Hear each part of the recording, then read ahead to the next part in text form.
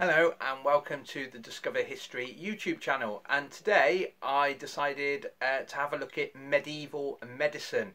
Uh, the reason for that is we do a lot of workshops in schools, we also do a lot of talks and living history where we often cover medicine and we actually cover medicine for any age in history.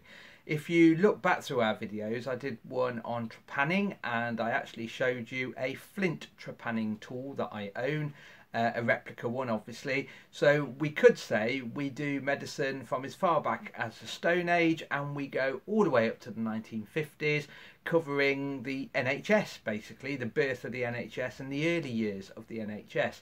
Um, however, today I thought we'd have a brief overview uh, with no horrific tools of surgery um, basically, I'll give you an overview of medical care for your average person in the Middle Ages. So, if you were ever ill in the Middle Ages, a lot of people would have turned to the closest people around them. In other words, if you're feeling unwell, you turn, for example, to your parents, and that's very much like we do today.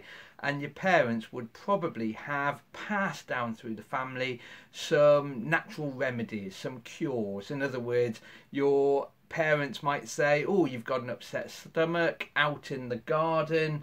Um, we've got a mint plant growing, and all you need to do is take a few leaves and chew on mint, for example, and it amazingly does actually settle the stomach. So the first put of call when anyone was ill was usually their parents. Other than that, a lot of people did actually go to church and they would pray to have their illness taken away. If you go back even as far as the ancient Greeks, the ancient Romans, and so on, they would go to uh, to the gods basically and hope that the god would take their ailments and injuries away. By the Middle Ages, there was also several saints that were associated with different illnesses. For example, um, if you wanted uh, to have uh, head pain go away, uh, some people suggested praying to uh, St. Thomas, Thomas of Becket, and as we all know, he had his brain spilled out over the floor uh, in, in the Middle Ages. So we associate head injury, head pain with Thomas of Becket. Uh, one of my favourites is Saint Erasmus, who was disemboweled using a windlass, and he is obviously the patron saint of stomach disorders. So it is quite interesting, really. Um, so people went to the nearest people around them for medical care, and they also believed in the church. But then, if they needed specific help and they couldn't uh, get it at home or at the church, they would then go further afield. And we're not talking travelling miles, we're talking about speaking to someone in the village, town, or settlement they live in. Because in the Middle Ages, there was a lot of people usually given the name the wise woman. And it's the wise woman that would have some form of cure for you, often absolutely mad cures. Um, for example, it is recorded that if you went to a medieval wise woman and you had, for example, or suspected that you had the plague coming, the Black Death, uh, very simply, she would suggest one of the treatments to wear a frog around your neck, and that would obviously ward off any of the pestilence, for example. By the way, don't try that at home. Um, it doesn't actually specify if the uh, frog should be alive or dead at the time. I doubt you really want a dead frog around your neck, but then do you want a live one hopping around as well? But if you don't go to the wise woman and that hasn't worked for you, then you have to pay for some pretty expensive treatment. We're quite lucky living in 2020 because we now have the NHS and we have done since the late late 40s. However, medical care, even for our ancestors, even our grandparents, for example, pre NHS days, you would have had to have paid for it, and that's the same in the Middle Ages. And there is technically a choice of three.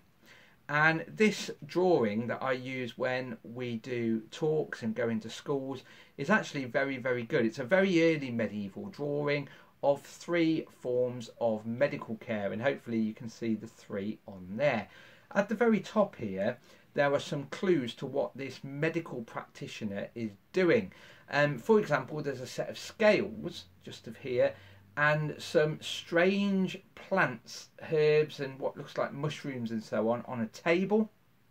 You also have this iconic item here, which is the pestle and mortar, uh, a large version to what we often have at home. And then there's also someone stirring a kettle, stirring a pot in the corner.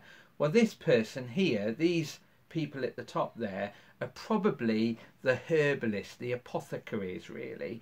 And these were the ones that made use of plants and herbs to make people better very much as I often compare it to a chemist is today because there were certain laws in the Middle Ages to stop all these jobs overlapping and one of the laws actually stated that the apothecary for example was allowed to administer uh, all sorts of lotions, potions, and preparations, but was not allowed to diagnose. And you get a lot of that in the Middle Ages when you have the guilds, and it's the guilds that are very, very powerful, and it tries to keep order in society, prevent people doing other people out of a job.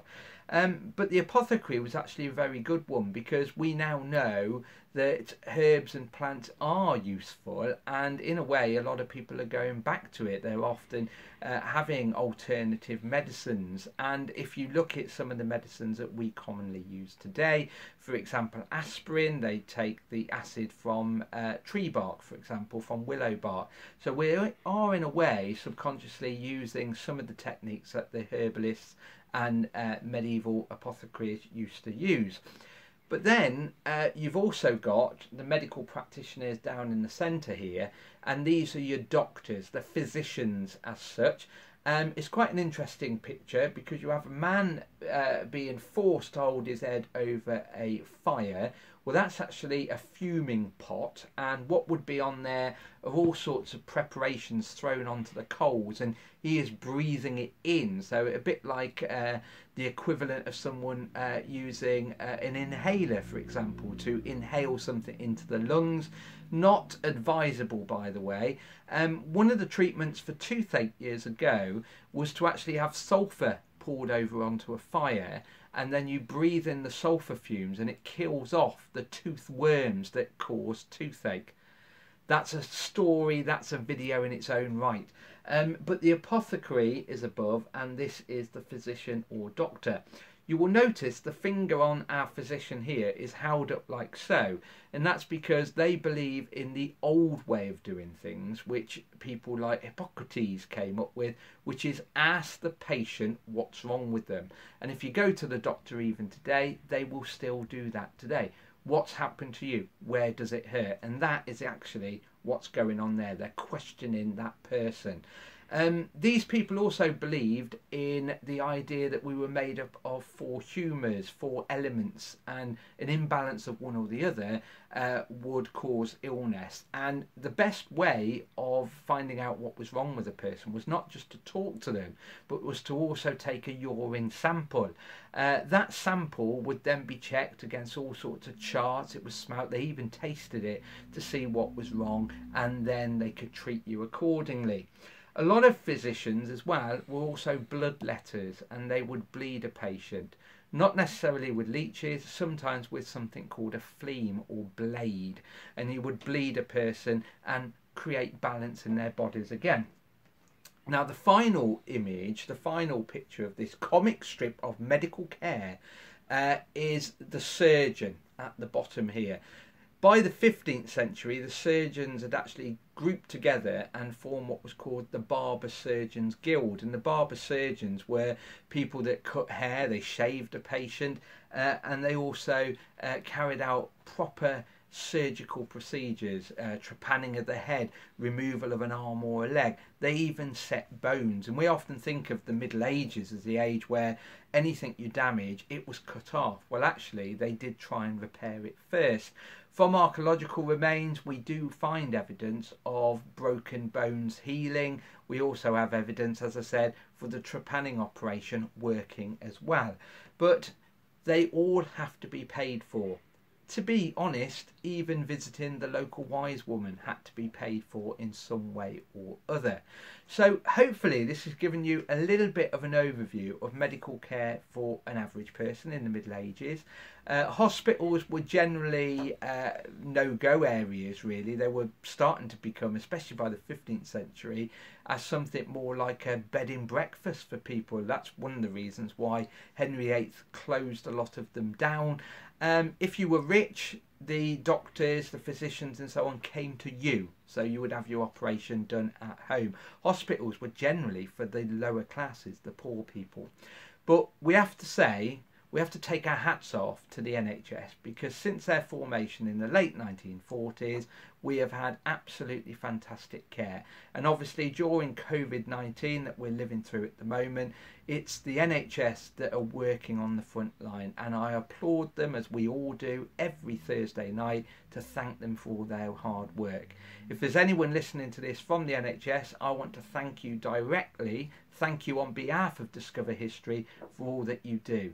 And in a way, look back and be so grateful that we've got you and not these mad people. Anyway, stay safe and we'll see you soon.